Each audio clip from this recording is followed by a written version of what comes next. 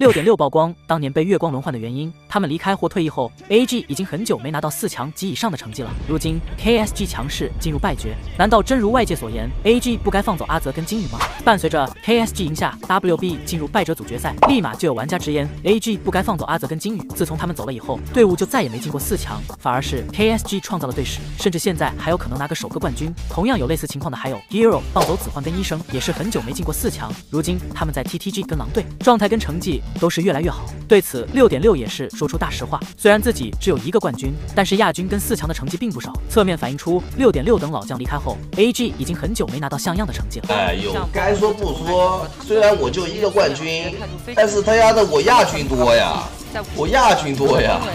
我几个亚军啊？我四个亚军啊，我三个亚军，我三个亚军啊，三个亚军，我三个亚军一个冠军啊，然后 N 多个 N 多个四强，除了一次呃除了一次季后赛没进吧，我没有算 RNG 啊，我没有算 RNG 的时候，呃除了一次没进季后赛。其他都是到四强的，成绩不差了呀。而且我联盟胜联盟里面胜率算高的，BA 拿冠军，BA 没拿冠军啊，亚军呀。随后六点六还曝光当年被月光轮换的原因，不得不说月光还是有真材实料的。奈何 SK 看透了一切，才让 AG 没能再次夺冠，这也是六点六只能转回去 RNGM 的原因。英雄池不够，被淘汰是迟早的事。有没有手法的吗？是我能决定的吗？你不会你不会以为我没有练吧？我每天打我每天打游戏打到三四点。练练个练个狗关练个狗屁关羽练个狗屁马超练了他丫的几几天练了几个小时那没办法呀打不出来没办法呀哎老子也想打呀哎那他妈练不出来怎么办呢？关键关键是什么呢？关键关键是我不没有不是说没有练，是他妈练了玩马超找不到枪。把那个枪丢出去，我那个枪不见了，去哪了？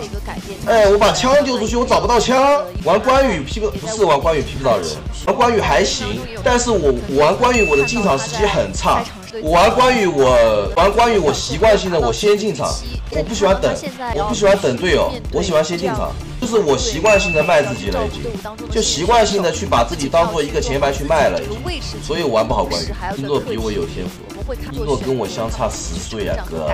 总的来说，AG 放走了很多厉害的青训选手，其实也跟他们希望用老阵容夺冠有关。奈何运气总是差了一点，只是后面不断补强，甚至是放弃了以前夺冠班底的赛训组，依旧未能取得好成绩，这也是 AG 迷茫的地方。换人跟不换人都拿不到成绩，那么为什么还要花重金补强呢？所以这赛季才会让人那么遗憾，他们本可以取得更好的成绩，却再一次倒在八强。最后大家觉得 AG 还要调整吗？一诺回归就一定能取得好成绩吗？